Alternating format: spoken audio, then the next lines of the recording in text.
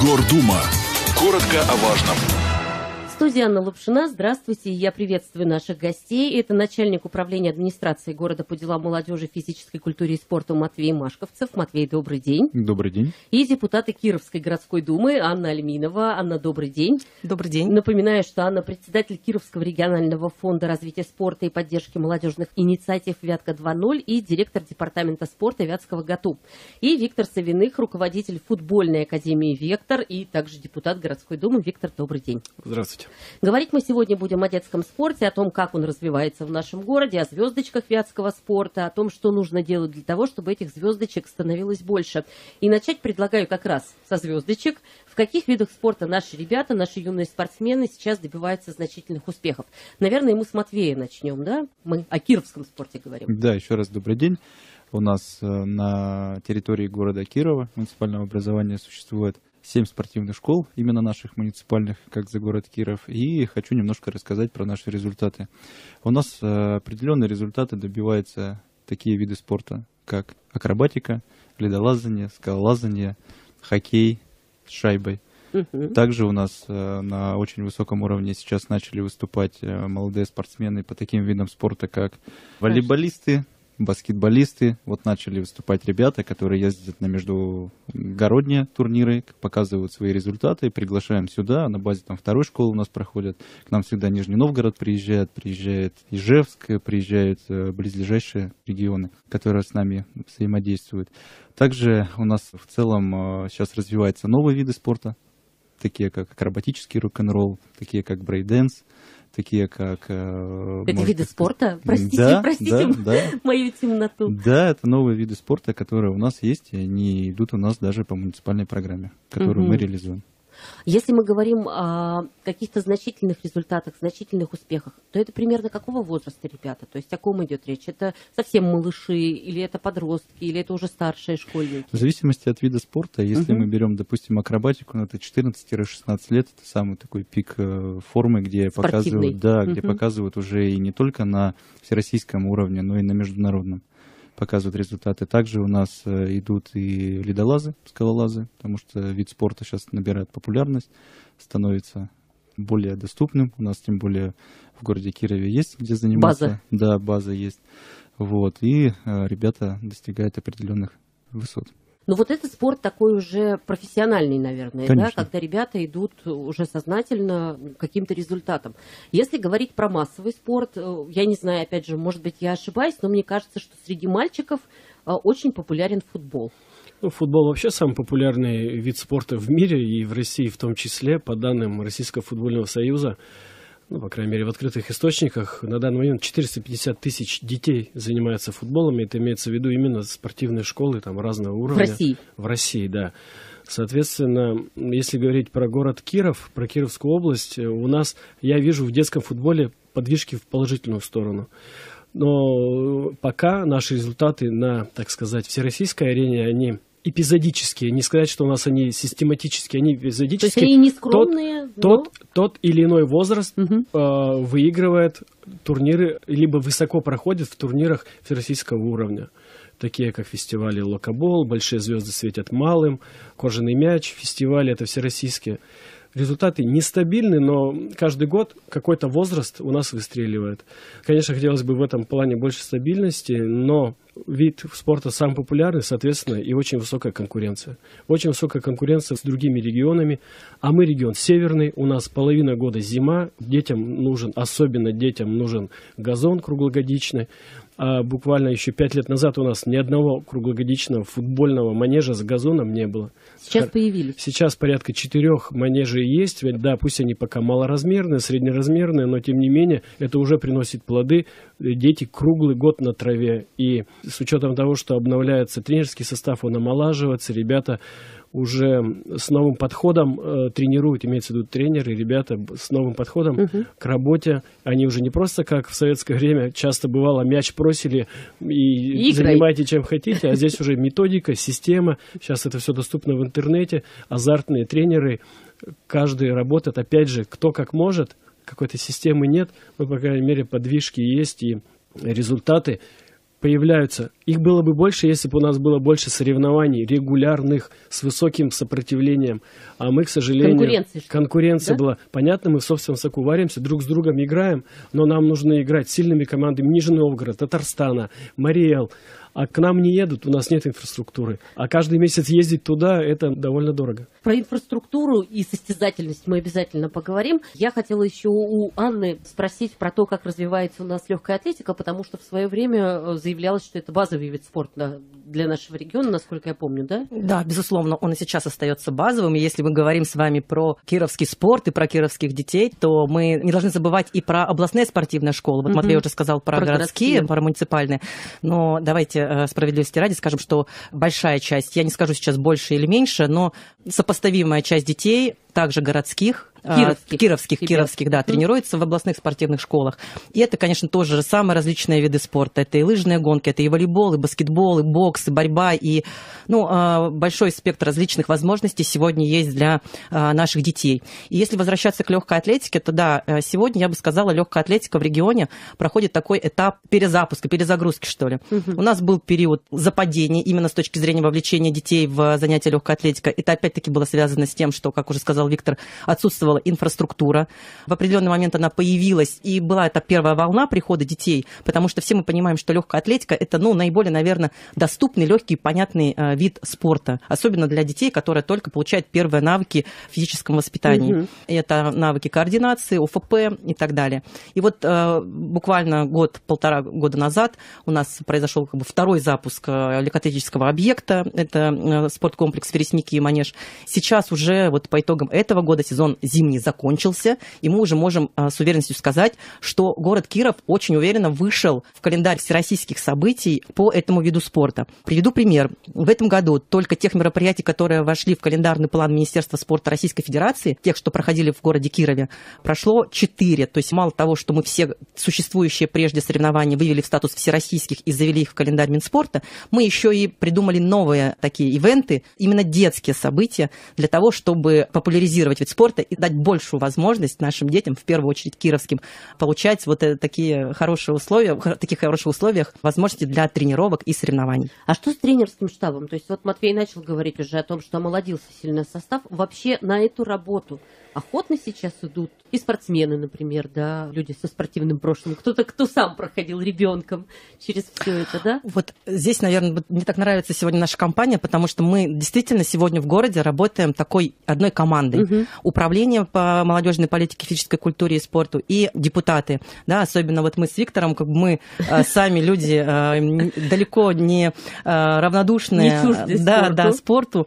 И как раз-таки, что касается тренеров, в этом году, я считаю, мы результат нашей командной работы для того, чтобы улучшить условия работы тренеров на городе Кирове, мы сработали, и э, нам удалось увеличить фонд оплаты труда тренеров на значительную сумму, скажем так. Это решение депутатов городской думы было в том числе, администрации. Это инициатива да? Анны Александровны изначально, в принципе, была, ну, проработали на комиссиях угу. и, в принципе, довели до определенного результата? Ну, я бы сказала, что это была инициатива общая, потому что если бы не было запроса со стороны администрации да, города и управления физической культуры и спорта, там, молодежной политики, то, конечно, не было бы и движений вот, э, со пос- стороны депутатов. последующих. Да. Да, Поэтому... мало того, разрешите еще добавлю немножко. С прошлого года мы вошли в дополнительное образование все спортивной школы, угу. тем самым мы попали в указанную категорию граждан.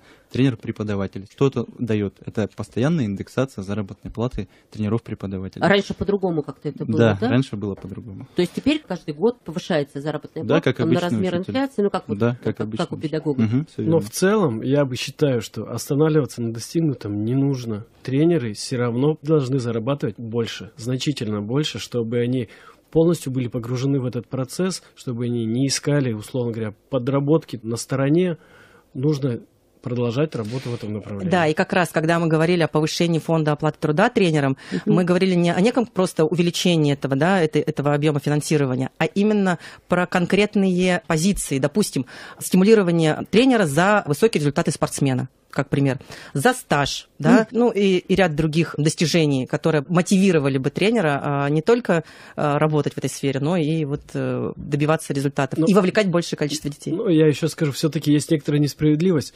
Воспитать мастера спорта в индивидуальном виде спорте, ну, так или иначе, это очень сложный труд, но это все-таки зависит от тренера, от конкретного человека. А чтобы стать мастером спорта в футболе, там нужно выигрывать чемпионаты всероссийского уровня, а это, это категорически сложно. Это очень сложно, поэтому здесь вот игровые виды спорта и индивидуальные виды спорта, они немножко, немножко разные, разные, находятся даже в этом вопросе в разных условиях. А если мы говорим про возрастной состав, то есть вот молодежь вообще идет сейчас на эту работу? Сложная ситуация на самом деле. А, срез примерно такой, что уже далеко за 50, даже там ближе к 60 mm-hmm. годам сейчас средний возраст тренеров. Но это сейчас, если мы говорим про государственные учреждения, муниципальные учреждения, mm-hmm. несколько иная ситуация в частных спортивных школах, как это у Виктора, допустим, да. Но вот еще раз повторю, что сейчас вообще происходит перезагрузка в принципе в а, системе российского спорта. Мы с вами очень скоро, я уверена, услышим и узнаем многое. Вот. А так пока я могу сказать, что этот вопрос вопрос омоложения кадров и создания условий для тренеров, он сейчас решается на федеральном уровне, потому что город Киров, Кировская область, одна из 89 субъектов, кто с этой проблемой, в общем, сталкивается. В общем, с этой проблемой так или иначе, мне кажется, все ну, города я немножко хочу добавить. И не только в спорте, и в других тоже сферах. Ну, да. да, непосредственно по муниципальным, нашим угу. городским, города Кирова, делали срез, полнейший анализ, и практика показывает, что у нас 50-60% это реально молодежь. Тренеров да, сейчас, да? Да, тренеров-преподавателей это реально молодежь. От 25, начиная там до 35 лет. Я почему Это очень хорошая такая практика, я считаю, нормальная. Про возраст. Просто когда Виктор говорил про то, как воспитывать индивидуального спортсмена или как бы командная какая-то история, мне всегда казалось, что чем ближе по возрасту ты к своему воспитаннику, да, тем проще тебе какие-то вещи ему объяснить, найти с ним общий язык. Это так, вот если мы про спорт говорим? Я не считаю, нет? что это ключевое какое-то значение имеет, что нужно быть примерно равным по возрасту. Не-не-не, нет, это... чтобы не было очень большого я разрыва. Я не считаю. Понятно, что, наверное, человек должен быть в какой-то, ну, какой-то общей современной uh-huh. реальности. Он, наверное, когда-то может после тренировки что-то пошутить, как бы создать атмосферу. Особенно, опять же, в командных видах спорта это очень важно, когда да, тренер да, действительно да. должен Смотрели быть... ли вы новый популярный да, сериал? Да, да, там, ну что-то там. На одной волне, Шутки и так далее. Это очень важно для создания микроклимата. Вот, поэтому, ну, я не считаю, что это имеет ключевое значение возраст. Я считаю, история, нет, да? больше включенность, азарт тренера, энергия тренера, любовь к этому виду спорта, любовь к детям, вот это самое Абсолютно ключевое. Точно. А вы, кстати, про возраст хотели добавить? Ну, я хотел на своем примере, чтобы далеко угу. не ходить. У нас порядка 15 тренеров у меня в футбольной академии работает. Самый младший 22, самый старый 42. То есть, ну, средний а, ну, возраст. то есть он еще то есть, тоже молодой. Ну, конечно, молодой, и я бы сказал, перспективный. Еще есть куда расти. Если мы говорим про инфраструктурные какие-то вещи, вот с точки зрения того, чего не хватает именно там, построенного, каких-то сооружений, манежей, вот э, то, о чем мы уже начали говорить. Что бы хотелось видеть в Кирове? И вообще есть какие-то возможности? Угу. Ну, наверное, здесь нужно говорить о том, что сегодня есть указ президента, да, который в том числе говорит о необходимом уровне обеспеченности населения угу. страны спортивными объектами. Здесь, конечно, в первую очередь речь идет о тех объектах спорта, которые должны были бы быть доступны населению в общем. То есть это вот те самые коробки во дворах, угу. турники, э, да, стадионы, пешей Факоты, умные площадки, угу. да. Вот это вот. Да, те площадки, которые вот в последние года появлялись. Их недостаточно. Ну, если говорить о том, что их не было вообще, то сейчас хотя бы этот вопрос хотя бы есть. решается. решается. Угу. Если говорить про обеспеченность уже там, подготовки спортивного резерва объектами, у нас действительно спортивный регион, у нас действительно родители ведут детей в спорт, и со всех сторон это здорово, но а, действительно не хватает сегодня объектов, переполнены объекты спорта, и сегодня наверняка и Министерство спорта, и туризма, и Управление по физической культуре, спорту, молодежной политике в тандеме решают этот вопрос с тем, чтобы и такие объекты, а, ориентированные уже на подготовку по определенным видам спорта, появлялись в Кировской Кировской области, городе Кирове. Угу. Матвей, у нас я знаю, что многие объекты и ремонтируются, и реконструируются, да, в том числе, ну вот, э, благодаря программам каким-то связанным с юбилеем. Да, да. А, вот э, в ближайшей перспективе на территории города Кирова, как уже было сказано, строятся новые объекты, такие как комплекс трех объектов. Это у нас Новоязк, Озерки и Радужный. Угу. Там открытые фоки, Мгм. будут делать, их делает Министерство спорта Кировской области. Также были проведены э, работы по двум спортивным объектам в прошлом году. Это две умные площадки в Нововятске и в микрорайоне Ленгасово.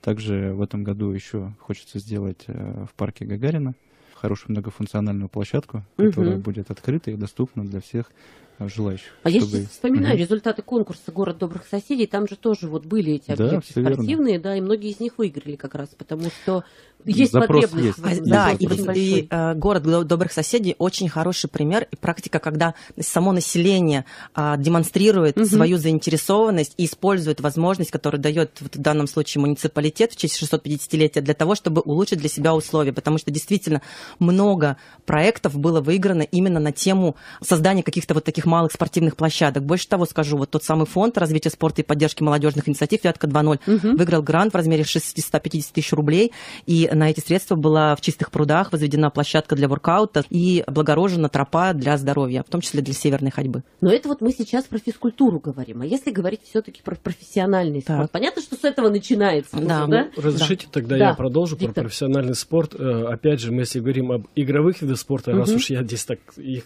представляю, этот, эту категорию, то, конечно, в футболе нужен еще, я повторюсь, круглый год трава, и нам Мгм. нужны большие манежи, желательно полноразмерные, хотя и среднеразмерные, это тоже определенным образом решит задачу.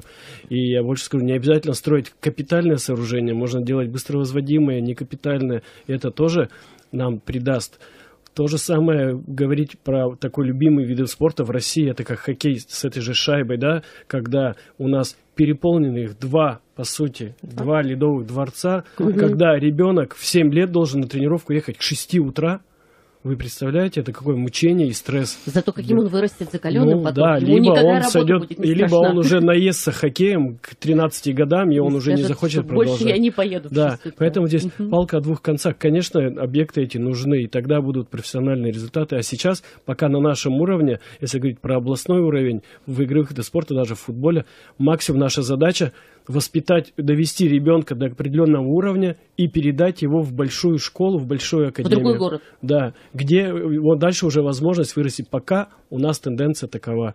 На своем примере скажу, у нас буквально недавно приехал наш футболист Федя Хорошавцев, 2013 года рождения.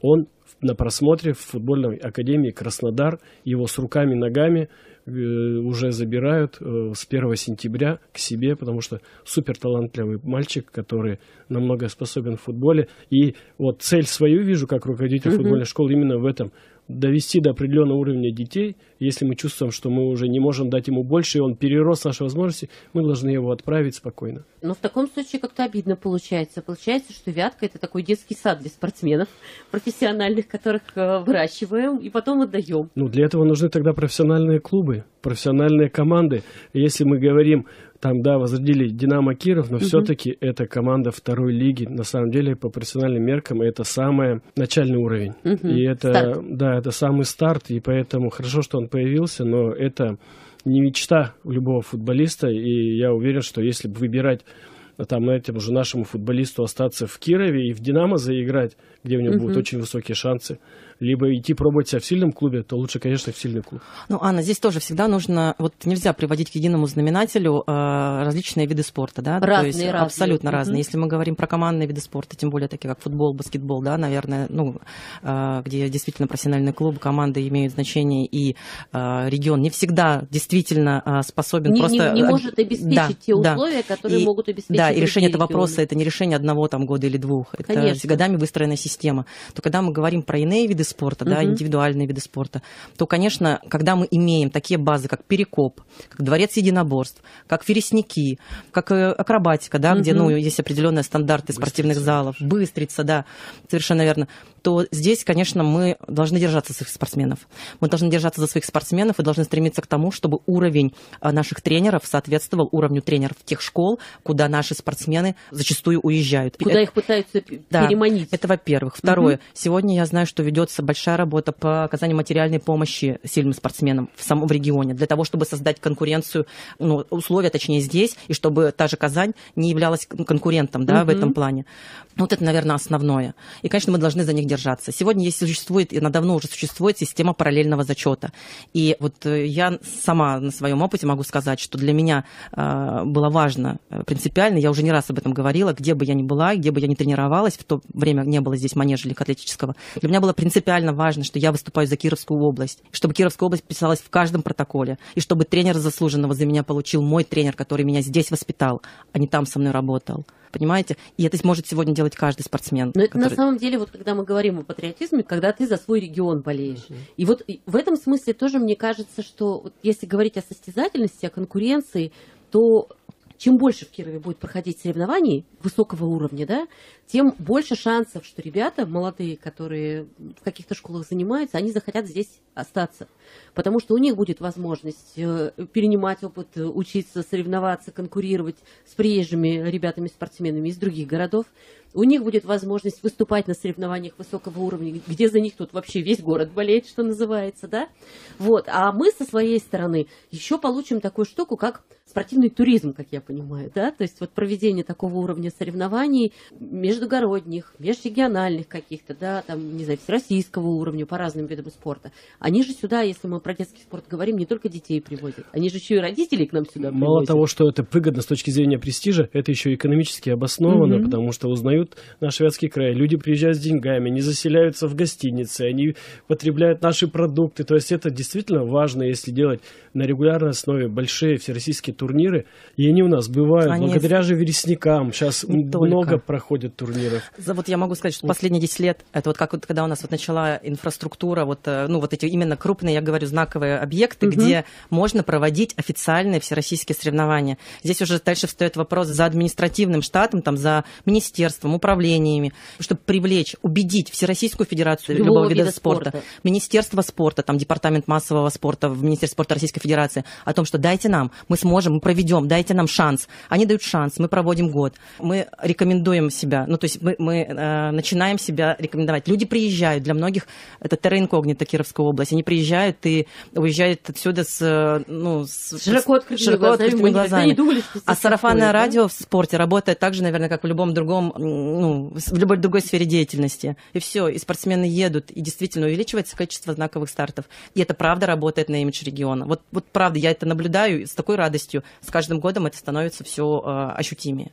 Матвей, если говорить про наше управление по физической культуре, делам молодежи и спорту, насколько оно готова, скажем так, брать на себя какие-то дополнительные функции, если мы говорим об организации в Кирове соревнований какого-то уровня? Или это все-таки вопрос больше на региональный уровень?